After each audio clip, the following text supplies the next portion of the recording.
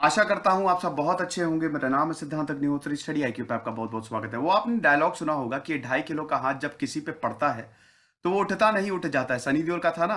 वो Mike Tyson के लिए बिल्कुल सही है। आप देख सकते हैं ना, ये ढाई किलो का हाथ इन पे पड़ा है और ये उठ गए हैं। इतनी बार नॉकआउट किया है माइक टाइसन ने। छोटी सी उम्र में बॉक्सिंग करनी शुरू की और जब बॉक्सिंग फ़ील्ड में कदम रखा, सब लोग डरते थे इनके सामने आने से। माइक टाइसन एक बहुत बड़े सुपरस्टार और बॉक्सिंग इतिहास में एक बहुत बड़ा नाम, Muhammad Ali, Mike Tyson Floyd Mayweather और माइक टाइसन ने जो प्लेटफॉर्म क्रिएट किया, बहुत लोग इनसे इंस्पायर भी हुए, लेकिन उसके बावजूद माइक टाइसन बहुत सारी कंट्रोवर्सीज में घिरे रहे हैं। कई बार इनको गिरफ़्तार किया गया है। गिरफ्तारी का जो सिलसिला है, बचपन से ही शुरू हो गया था। जब ये तेरह साल के थे तो ऑलरेडी अड़तीस बार इनको जेल जाना पड़ा था। पिताजी से कभी देखा नहीं इनको। माता जी से बनती नहीं, अनाथ हो गए थे सोलह साल की उम्र में तो एक सर्वाइवर रहे हैं, लेकिन वही चीज़ है ना, कि जितनी तेज़ी से ऊपर गए, उतनी ही तेज़ी से नीचे आए। माइक टाइसन का जो सफ़र है, वो बहुत ही उतार चढ़ाव बड़ा उतार चढ़ाव भरा रहा है। तो हम देखेंगे माइक टाइसन के सफ़र को, बहुत सारी इंटरेस्टिंग स्टोरीज जानेंगे। दोस्तों 2003 तक 300 मिलियन डॉलर खर्च करके बैंक फ़ाइल कर दी थी। बताइए 300 मिलियन डॉलर, दोस्तों, अरबों रुपए खर्च कर दिए इन्होंने। ठीक है, वो भी इतने कम समय में दस पंद्रह साल में। ये खाली माइक टाइसन ही कर सकते हैं। तीन शेयर पाले पाले थे इन्होंने। लेकिन जब बाद में पैसे की दिक्कत थी तो उनको बेच दिया था। शेर पाल रहे थे माइक टाइसन क्योंकि उनको लगता था, कुत्ता बिल्ली कौन पालता है? मैं तो वॉरियर हूँ तो मुझे तो शेर पालना चाहिए। है ना? और अभी माइक टाइसन का यूट्यूब चैनल है, और मूवीज़ में भी काम करते हैं शोज़ में भी जाते हैं। अब तो उन्होंने रिटायरमेंट ले लिया बॉक्सिंग करते नहीं है। हैंगओवर मूवी देखी है? उसमें माइक टाइसन है। हैंगओवर कमाल की मूवी बेहतरीन। टॉट फिलिप्स ने डायरेक्ट मतलब डायरेक्ट की थी। वही टॉट फिलिप्स जिन्होंने जोकर बनाई थी, वो आप मूवी देखिएगा। उसमें माइक टाइसन है और भी बहुत सारी मूवीज़ में काम किया है। तो माइक टाइसन की हम बायोग्राफी को देखेंगे। तो चलिए दोस्तों, आगे बढ़ते हैं। सिनर्स को रिकनेक्ट मेरा फेसबुक पेज है। सिद्धांत अग्निहोत्री के नाम से मेरी फेसबुक प्रोफ़ाइल है। दोनों ही जगह पर चक्की पीडीएफ ले सकते हैं, सवाल भी पूछ सकते हैं। स्टडी आईक्यू के टैबलेट और पेनड्राइव कोर्सेज हर एग्ज़ाम के लिए आते हैं। अपने नंबर पर कॉल करिए वेबसाइट विज़िट करिए। दोस्तों, अगर हम माइक टाइसन की बात करें तो इनका जन्म 30 जून उन्नीस में हुआ था। बचपन इनका बहुत ही अच्छा नहीं गुजरा। ये ब्राउन्सविल, ब्रुकलिन न्यूयॉर्क में जन्मे और ऐसी जगह रहते थे जो डेफिनेटली सर्वाइवल के लिए बहुत अच्छी जगह नहीं थी। ठीक है, गुंडे, बदमाशी काफ़ी ज़्यादा थी और बहुत अमीर परिवार में जन्मे नहीं। वैसे तो इनके जो बायोलॉजिकल फादर है, इनके बर्थ सर्टिफिकेट के हिसाब से वो पर्सल टाइसन है, जो कि जमेका से है। माइक टाइसन के बायोलॉजिकल फादर इनको छोड़ के चले गए। तो 1959 माइक टाइसन के जन्म से पहले 1959 को कुछ ऐसा हुआ, जिमी कर्क पैट्रिक ने माइक टाइसन की माता जी से शादी कर ली।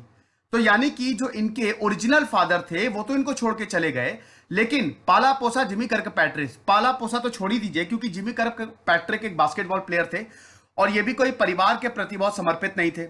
ड्रग्स एल्कोहल ये सब जिमी कर्क पैट्रिक करते थे तो ये भी माइक टाइसन और उनकी पूरी फैमिली को छोड़ के चले गए। और माइक टाइसन की जो माता जी थी, उनसे माइक टाइसन की कभी बनी ही नहीं। ये इंटरव्यू में कई बार माइक टाइसन ने बोला है कि मेरी और मेरी मम्मी की, मेरी मदर की कभी भी नहीं बनी। दूर दूर रहते थे, कोई इमोशनल अटैचमेंट नहीं था। अब आमतौर पे इस तरीके का अगर बचपन होता है किसी भी बच्चे का तो आगे ये बढ़ता जाता है। लेकिन माइक टाइसन ने इसको एडवांटेज की तरह लिया कि मैंने अगर इतना स्ट्रगल किया है तो मेरा जो करियर होना चाहिए, वो कमाल का होना चाहिए। तो जब भी आप इनकी फाइट से देखेंगे, ये चीज़ कभी भी सामने नहीं आई कि इतना स्ट्रगलिंग या सर्वाइवल के लिए इतना स्ट्रगल करना पड़ा। समझ रहे हैं? तो यहाँ पे हम देखते हैं कि जो इनकी माता जी थी, लॉर्ना में, इनसे जिमी कर्क पैट्रिक ने शादी की और पूरी फैमिली को ही छोड़ के जिमी कर्क पैट्रिक चले गए। अब उनको पता होता कि माइक टाइसन इतने बड़े स्टार बन जाएँगे तो डेफिनेटली नहीं छोड़ते। अब माइक टाइसन के बचपन की बात करते हैं, ठीक है? माइक टाइसन का अगर बचपन बड़ा ही ब्रूटल था, जी हाँ माइक टाइसन को बहुत बुली किया जाता था, क्योंकि ये थोड़े से कमज़ोर थे, तुतलाते थे, है ना? बोल सही से नहीं पाते थे, और वो अभी भी आप देखेंगे तो जब माइक टाइसन बोलते हैं तो थोड़ा बहुत वो सामने आ ही जाते स्टैमर करते थे, तुतलाते थे। तो माइक टाइसन को जब बच्चे चढ़ाते थे तो माइक टाइसन डरते नहीं थे।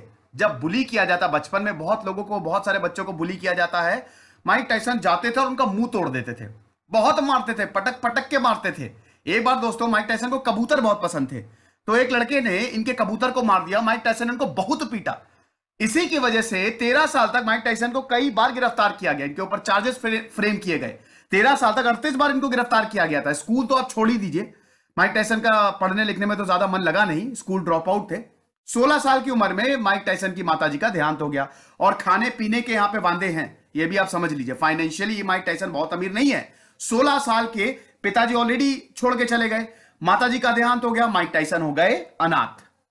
लेकिन एक ऐसा इंसान था, जिसने माइक टाइसन को देखा और माइक टाइसन को एक कोच के पास ले गया, जिसका नाम था कस डमैटो। कस डमैटो ने जब माइक टाइसन को देखा कि यहाँ इसमें ज़्यादा काफ़ी कैलिबर है और इसको हम एक स्टार बना सकते हैं, तब कस डमैटो जो थे, वो माइक टाइसन के लीगल गार्जियन हो गए। क्या कहानी है दोस्तों?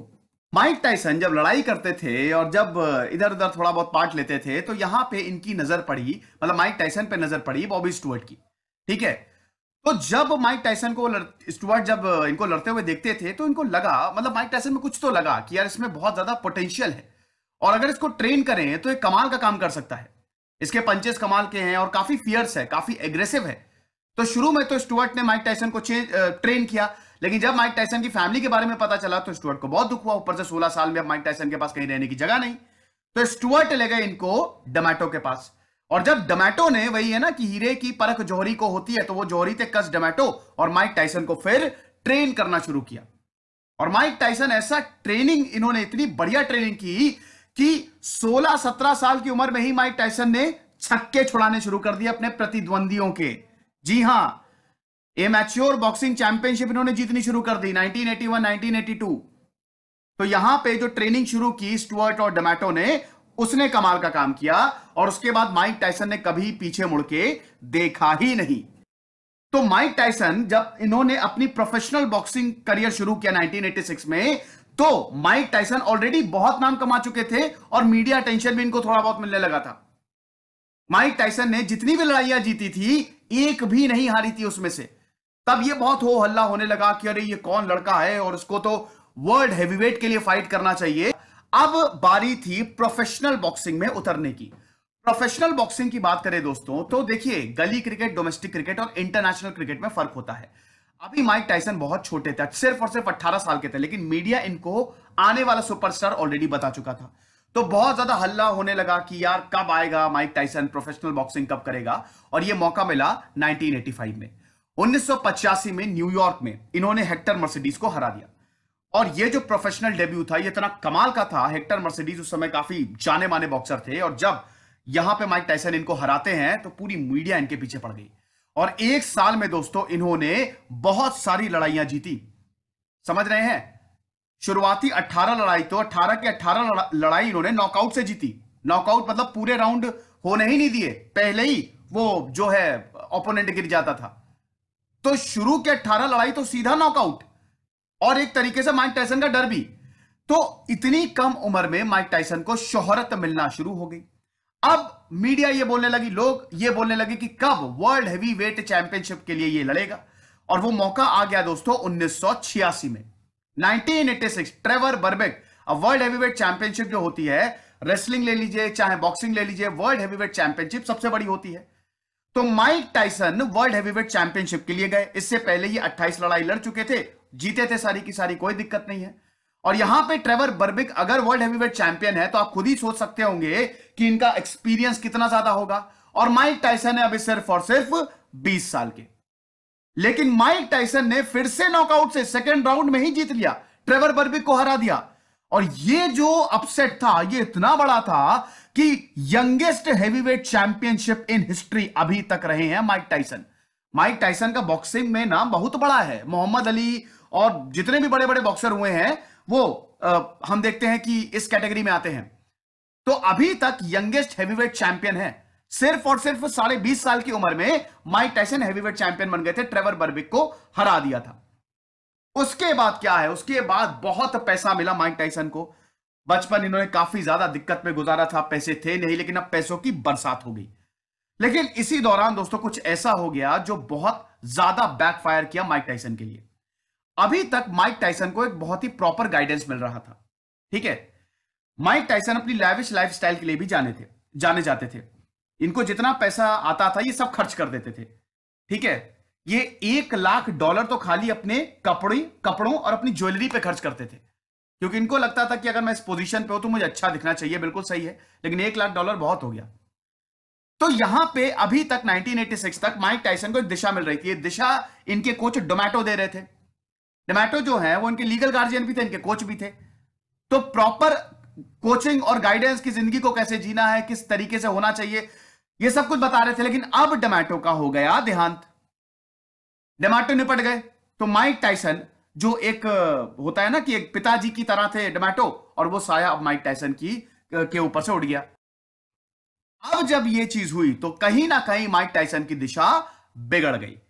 1987 आते आते दोस्तों, इन्होंने सारी बेल्ट जो थ्री मेजर बेल्ट होती है W B A B C और IBF at the same time इन्होंने 1987 आते आते सब जीत ली थी। लेकिन अब माइक टाइसन का जो समय था, वो बहुत ही खराब होने वाला था। रॉबिन गिवेंस, जो उस समय की बहुत ही जानी मानी एक्ट्रेस थी, काफ़ी इंटेलेक्चुअल पढ़ी लिखी माइक टाइसन पढ़े लिखे इंटेलेक्चुअल तो थे नहीं। माइक टाइसन को खाली लड़ना आता था, लेकिन कैसे उनको रहना है, कैसे बात करनी है, ये माइक टाइसन ने कभी नहीं सीखा, ठीक है? तो रॉबिन गिवेन से जब माइक टाइसन मिले तो रॉबिन गिवेन से बहुत ज़्यादा इंप्रेस हो गए। और रॉबिन गिवेन से बहुत ज़्यादा क्लोज आ गया माइक टाइसन की वजह से बहुत सारी गर्लफ्रेंड्स रही है, ठीक है? सैकड़ों गर्लफ्रेंड्स रही है, ठीक है? इनकी तीन शादियाँ हुई थी माइक टाइसन की और तीनों नहीं चली। तीनों में ही इनको डिवोर्स मिला और माइक टाइसन के छह बच्चे हैं, ठीक है? तो रॉबिन गिवन से जब इनकी पहली शादी हुई, तब माइक टाइसन को लगा कि यही है, इसी से मैं शादी करूँगा। अब देखिए, वही चीज़ है। इधर टमाटो का देहांत हुआ, इधर रॉबिन गिवन से इन्होंने शादी कर ली, लेकिन रॉबिन गिवेंस इनके लिए डिजास्टर साबित हुई। एक औरत एक इंसान को, एक मर्द को बना भी सकती है और उसको बिगाड़ भी सकती है। ठीक है? ये डिपेंड करता है कि आप जिससे शादी कर रहे हैं, जिससे रिलेशनशिप में है, वो किस तरीके की है। तो रॉबिन गिवेंस ने माइक टाइसन को मेंटली तोड़ना शुरू कर दिया। पहले तो प्यार हुआ, सब कुछ बहुत बढ़िया, साथ में दिखते थे मैगजीन्स में फ़ोटो छपती थी, लेकिन जब वक्त आगे बढ़ा, तब माइक टाइसन को बहुत ज़्यादा प्रताड़ित करना शुरू कर दिया रॉबिन गिवेंस ने। रॉबिन गिवेंस माइक टाइसन को जो पैसा आता था, उसके ऊपर हक जताने लगी कि मेरे पैसे हैं ये। माइक टाइसन के जो अकाउंटेंट जो इनका पैसा मैनेज करता था, वो भी पैसे की हेराफेरी बहुत ज़्यादा करता था। और ऊपर से जो इनकी पर्सनल लाइफ थी, वो बिल्कुल अच्छी नहीं चाह रही थी। रॉबिन गिवेंस सिर्फ़ और सिर्फ़ एक साल इनकी मैरिज चली है। और रॉबिन गिवेंस ने तो माइक टाइसन को यह तक बोल दिया था कि ये डिप्रेशन का शिकार है। हालाँकि जो आरोप रॉबिन गिवेंस ने माइक टाइसन के ऊपर लगाए थे कि मुझे मारता है अब्यूज करता है डिप्रेशन का शिकार, वो सब झूठे साबित हुए। ठीक है? तो माइक टाइसन यहाँ पे परेशान। अब जब इंसान मेंटली परेशान होता है तो उसका कहीं मन नहीं लगता। इंसान का किसी भी काम में तभी मन लगेगा जब उसको पारिवारिक सुख मिलेगा। सीधी बात है, अगर परिवार से वो दुखी है तो बहुत ज़्यादा प्रॉब्लम है। अपने रिलेशनशिप से, अपने परिवार से, अपनी वाइफ से दुखी है तो उसका कहीं मन लग ही नहीं सकता। तो माइक टाइसन अब हम देखते हैं कि अब इनका डाउनफॉल शुरू हुआ कुछ टाइम के लिए। और ये डाउनफॉल 1995 तक चला। ये काफ़ी वक्त तक रहा। फाइट्स लड़ी इन्होंने। 1987 के बाद भी फाइट्स लड़ी। जीती 1987 से 1990 तक। लेकिन जो इतनी ज़्यादा प्रॉब्लम्स थी, वो बहुत ज़्यादा बैकफायर कर गई। ठीक है? स्पेशली इनकी पत्नी को लेके। 1990 में अनडिस्प्यूटेड चैंपियन थे ये। लेकिन फाइनली ये हार गए। ये हार गए क्योंकि जैसा कि मैंने बताया कि इन्होंने अपना पूरा डायरेक्शन ही, रास्ता ही बदल दिया। और ऊपर से इतनी ज़्यादा टेंशन कि 1990 में पहली बार ये बहुत बड़ी हार का सामना करना पड़ा था माइक टाइसन को। और दोस्तों माइक टाइसन को नॉकआउट से हराया गया था। डगलेस ने हराया था यहाँ पे। किसी ने भी ये नहीं सोचा था कि माइक टाइसन को नॉकआउट किया जा सकता है। रिंग में उतरने से लोग डरते थे, लेकिन डगलेस ने इनको नॉकआउट से हरा दिया। और यहाँ पे जो माइक टाइसन को baddest man on the planet का खिताब मिला कि बड़े स्वैग्स में आते हैं, बड़े जलवे रहते हैं, वो सब हवा हो गया। वो सब के सब पूरा बदल के रख दिया। और इसको आज भी दोस्तों biggest upsets in modern sports history बोला जाता है। माइक टाइसन हारने ही नहीं, इनकी तैयारी बहुत बढ़िया, एकदम प्रॉपर शेप में, लेकिन उसके बावजूद हार गए। तो 1990 में ये हुआ, और उसके बाद दोस्तों बहुत ज़्यादा प्रॉब्लम शुरू हो गई माइक टाइसन की लाइफ में। अगले पाँच, छह साल माइक टाइसन के लिए बहुत ही खराब रहे। तो माइक टाइसन को 1991 में फिर से अरेस्ट कर लिया गया। ठीक है? एक तो क्या हुआ था, मैंने आपको बताया था कि जब ये बॉक्सिंग में नहीं उतरे थे तो काफ़ी लड़ाई करते थे, इनको अरेस्ट कर लिया जाता था। अब ये दोबारा सिलसिला शुरू हुआ। माइक टाइसन को कई बार गिरफ़्तार किया गया है। कभी ड्रग्स के इल्ज़ाम में, कभी लड़ाई के इल्ज़ाम में। मैंने बताया ना, माइक टाइसन पब्लिकली कैसा बिहेव करते हैं, वो अभी तक नहीं आया उनको। ठीक है? कई बार गिरफ़्तार किया गया माइक टाइसन को। जुलाई 1991 में एक बहुत बड़ी घटना होती है। माइक टाइसन के ऊपर आरोप लगा कि इन्होंने एक 18 वर्ष की लड़की का बलात्कार किया और माइक टाइसन को अरेस्ट कर लिया। ठीक है? अब माइक टाइसन को जब अरेस्ट किया तो माइक टाइसन ने अपने बचाव में यह बोला, ट्रायल चला इनके ऊपर बकायदा और अमेरिका में कानून बहुत सख्त है। तो इन्होंने ये बोला कि मैंने ये नहीं किया, मैंने बलात्कार नहीं किया माइक टाइसन सच में सच बोल रहे थे। वो भी राज़ी थी, मैं भी राज़ी था। मैंने कोई बलात्कार नहीं किया, मैंने कभी ज़बरदस्ती नहीं की, लेकिन ये कोर्ट में माइक टाइसन साबित नहीं कर पाए। और इनको हो गई छह साल की सजा। जी हाँ, माइक टाइसन को उन्नीस सौ बानवे में जेल जाना पड़ा। छह साल की सजा होगी माइक टाइसन को। लेकिन माइक टाइसन का व्यवहार इतना अच्छा था जेल में कि इनको वो छह साल की सजा को तीन साल की सजा कर दिया गया, कर दिया गया। और जेल में ही दोस्तों, ये इस्लाम में कन्वर्ट हो गए। मलिक अब्दुल अज़ीज़, ये इन्होंने नाम लिया था। ये शायद बहुत लोगों को मालूम नहीं है। 1995 में माइक टाइसन अपनी छह साल की सजा तीन साल की हो गई और उन्नीस में तीन साल के बाद माइक टाइसन वापस आए। और जब वो वापस आए तो भैया शेर अगर थोड़ा बहुत घायल भी हो जाए ना, रहता वो शेर ही है। दोबारा वो रिंग में उतरे। और जब दोबारा रिंग में उतरे तो फिर से इन्होंने नॉकआउट करना शुरू कर दिया। फिर से लोगों को मारना शुरू कर दिया मतलब रिंग में। और अपनी गुस्सा रिंग में हम देखते हैं कि इन्होंने उतारनी शुरू कर दी। पी कबू टेक्निक के लिए बहुत ज़्यादा फ़ेमस थे माइक टाइसन जो कि इनके कोच ने इनको सिखाई थी।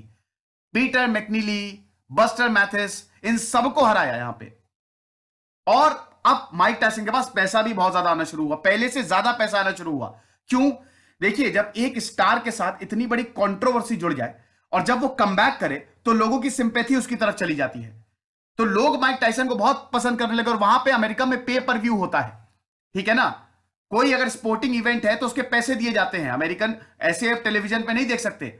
स्पोर्टिंग इवेंट या कुछ भी अगर बड़ा इवेंट है तो वहाँ पे पैसे देख के ही आपके टेलीविज़न पे आएगा वो। तो इससे बहुत सारे पैसे आते हैं। तो यहाँ पे हम देख रहे हैं कि माइक टाइसन ने जब भी लड़ाई लड़ी millions and millions of dollars कमाए। और टीवी पे मीडिया में छा गए माइक टाइसन ये सब कुछ हुआ 1995 में 1996 में। और इनकी जो सबसे famous fight Mike Tyson versus Holyfield Holyfield के साथ जो इन्होंने फाइट की दोस्तों, ये बहुत फ़ेमस फाइट थी। होली फ़ील्ड पे पहले बहुत सारी टिप्पणियाँ करते रहे थे माइक टाइसन की, इनको ये कर देंगे, इनको वो कर देंगे। ठीक है? और तब माइक टाइसन के पास डब्ल्यूबीए चैंपियनशिप भी आ गई थी। ठीक है? तो होली फ़ील्ड ने चैलेंज किया और ये फाइट होती है दोस्तों 28 जून 1997 में। इसमें माइक टाइसन को 30 मिलियन डॉलर मिले होलीफील्ड को 35 मिलियन डॉलर। और अभी तक की हाईएस्ट पेड प्रोफेशनल बॉक्सिंग रही है 2007 तक। मतलब अभी तक की नहीं 2007 तक। बहुत पैसा मिला माइक टाइसन को। लेकिन यहाँ पे वही माइक टाइसन ने कान चबा लिया था। आपने सुना होगा, ये होलीफील्ड के साथ हुआ था। माइक टाइसन को लगा कि वो होलीफील्ड को नहीं हरा पाएँगे।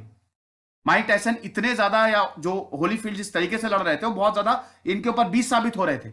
तो माइक टाइसन को लगा कि मैं होलीफील्ड को हरा नहीं पाऊँगा, फ्रस्ट्रेट हो गए तीसरे राउंड में माइक टाइसन ने होली फ़ील्ड का कान काट लिया था, चबा गए थे उनका कान। और जब ये रेफरीज ने देखा तो उन्होंने तुरंत फाइट रोक के माइक टाइसन को डिस्कालीफाई कर दिया। और दोस्तों, इतना ज़्यादा इसमें बॉक्सिंग में गुस्सा था मतलब बॉक्सिंग फ्रेटर्निटी में गुस्सा था, कि अल्टीमेटली माइक टाइसन के ऊपर बैन लगा दिया गया था कि आप बॉक्सिंग रिंग में आ नहीं सकते। इनका लाइसेंस तक कैंसिल कर दिया गया था। ठीक है? फिर जब इनका लाइसेंस रिन्यू हुआ और उसके बाद बैन हटा, तब दोबारा ही आए। 1999 में फिर माइक टाइसन ने लड़ाई शुरू की। लेकिन अब दोस्तों माइक टाइसन वो बात नहीं रह गई थी माइक टाइसन में, जो पहले थी, जो पहले हुआ करती थी। तो फिर माइक टाइसन ने कुछ लड़ाई लड़ी, कुछ जीती, कुछ में कंट्रोवर्सी ज़्यादा क्रिएट हुई, ठीक है? 1999 में फिर माइक टाइसन को गिरफ़्तार किया गया। पाँच हज़ार डॉलर का इनके ऊपर फाइन लगाया। क्यों? क्योंकि दो राह सवारों से, रागीरों से इन्होंने लड़ाई कर ली। ये कई बार हुआ है, ठीक है?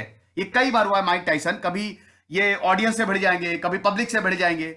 है ना? कभी मीडिया से भिड़ जाएँगे कभी प्रेस कॉन्फ्रेंस हो रही है प्रेस कॉन्फ्रेंस होती है हमेशा वहाँ पे ब्रॉल करेंगे ये लड़ाई करेंगे वहाँ पे जो आ, दूसरा जो ओपोनेंट इनका बैठा रहता है मतलब फाइट से पहले हमेशा एक प्रेस कॉन्फ्रेंस होती है ठीक है? जैसे दो लोग फाइट कर रहे हैं तो उन दोनों को बैठा के प्रेस कॉन्फ्रेंस की जाती है दोनों से सवाल पूछे जाते हैं। तो माइक टाइसन कई बार उल्टी सीधी टिप्पणी करते रहते अपने उनका ओपोनेंट बगल में बैठा है लेकिन उनको अच्छे से हड़का के रखते हैं कि आओ बेटा रिंग में तुमको देख लेंगे। हालाँकि ये एक तरीके से टैक्टिक्स भी होती है कि दूसरे ओपोनेंट को फाइट शुरू होने से पहले ही डाउन कर दो। ठीक है? तो ये चीज़ थी। एक ऐसा ही इवेंट हुआ था दोस्तों लुइस के साथ।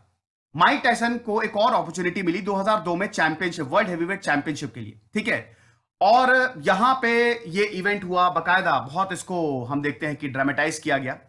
और माइक टाइसन को मतलब ये बोला गया था कि हो सकता है ये जीत जाए, लेकिन ऐसा हुआ नहीं। क्योंकि जो ल्यूइस थे, वो बड़े लंबे, चौड़े और ताकतवर थे। तो माइक टाइसन को लगा कि शायद वो ये वर्ल्ड हैवीवेट चैंपियनशिप जीत जाएँगे, लेकिन जीते नहीं। लुइस ने एट्थ राउंड में माइक टाइसन को हरा दिया। अगर आपको ये जानना है कि बॉक्सिंग कैसे लड़ी जाती है तो मेरा विजेंदर सिंह का लेक्चर देख लीजिएगा दोस्तों, ठीक है? तो वो आप ज़रूर देखिएगा। तो यहाँ पे हम देख रहे हैं कि माइक टाइसन ने एट्थ राउंड आते आते माइक टाइसन हार गए, और अब माइक टाइसन ने सोच ही लिया था कि अब बेटर है कि मैं रिटायर ही हो जाऊँ। 2003 में दोस्तों माइक टाइसन ने अपनी बैंक रप्सी को फ़ाइल किया, ठीक है? पूरी तरीके से सारा पैसा बर्बाद कर दिया था। 300 मिलियन डॉलर उड़ा दिए थे। इतना पैसा आया, बताइए, इतना ज़्यादा पैसा अरबों रुपए कोई इंसान कैसे उड़ा सकता है? लेकिन माइक टाइसन है, उन्होंने उड़ा दिए। ठीक है, बहुत खर्चा करते थे, आलिशान मकान बनाया, ऊपर से और, ये तो चलिए, इतने तो पैसे उड़ा है, ऊपर से एक्स्ट्रा पचास मिलियन डॉलर की इनके ऊपर डेप्ट मतलब कर्जा था। कर्जे में डूब गए थे माइक टाइसन पूरी तरीके से, पैसे भी खत्म कर दिए और कर्जे में भी हैं। तो फिर 2003 के बाद दोस्तों, माइक टाइसन ने कुछ मूवीज़ करनी शुरू की, कुछ शोज़ में जाने शुरू किए, ताकि कर्जा उतारा जा सके। ठीक है और अल्टीमेटली 2005 आते आते दोस्तों माइक टाइसन ने रिटायरमेंट ले लिया। ठीक है? तो ये चीज़ है। उसके बाद दोस्तों माइक टाइसन ने टूर किए एग्जीबिशन टूर्स किए। ठीक है? फ्रेंडली मैच होते थे, वहाँ उतर जाते थे। और मूवीज़ भी बहुत सारी की। और फिर अपनी माइक टाइसन फाइनली उनको पीस ऑफ़ माइंड मिला। माइक टाइसन ने 2012 में टाइसन केयर्स फाउंडेशन भी शुरू की। ठीक है? ये उन बच्चों को लड़ने का मौका देती है बॉक्सिंग सिखाती है और बहुत सारे इनोवेटिव सेंटर्स भी है। जिनके पास पैसा नहीं होता। तो अच्छा काम भी किया। तीन शेयर थे इनके पास। तीन शेयर पाले थे माइक टाइसन ने। और बाद में इनको बेच दिया था क्योंकि जब पैसा नहीं था तो फिर कहाँ से? इन शेयरों पे ही खर्चा सत्तर मिलियन डॉलर का होता था दोस्त। सत्तर हज़ार डॉलर का होता था, सॉरी। सत्तर हज़ार डॉलर का शेयरों पे खर्चा होता था। मतलब सत्तर से अस्सी हज़ार डॉलर। तो इतना ज़्यादा, क्योंकि भैया उनकी डाइट अलग होती है, शेयर पाल रहा है। बताइए, एक इंसान शेयर पाल रहा है। कमाल की बात है। है ना? तो ये सब 2017 में माइक टाइसन ने अपना यूट्यूब चैनल स्टार्ट किया था। एक चीज़ और हाँ एक चीज़ मुझे याद आई। माइक टाइसन जब अपने पीक पे थे 1990s में तो उन्होंने अपने एडवाइजर डोनाल्ड ट्रंप को अपना एडवाइजर चुना था। डोनाल्ड ट्रंप जो थे, वो माइक टाइसन के एडवाइजर थे। क्या विश्वास करेंगे? और बहुत सारी फ़ोटोज़ हैं माइक टाइसन और डोनाल्ड ट्रंप की। और डोनाल्ड ट्रंप को काफ़ी सपोर्ट भी किया था माइक टाइसन ने, जब ये प्रेसिडेंट के लिए, चुनाव के लिए गए थे। ठीक है? तो अभी एट प्रेजेंट की बात करें तो माइक टाइसन का यूट्यूब चैनल है इंटरव्यूज़ देते हैं शो में जाते हैं, और अगर मूवी मिलती है तो मूवी भी करते हैं। तो ये कहानी थी माइक टाइसन की। अट्ठावन लड़ाइया लड़ी, बावन जीती, छह हरी। आई होप आपको पसंद आई होगी। खुश रहिए, पढ़ते रहिए। इधर से सिद्धांत अग्निहोत्री सैनिक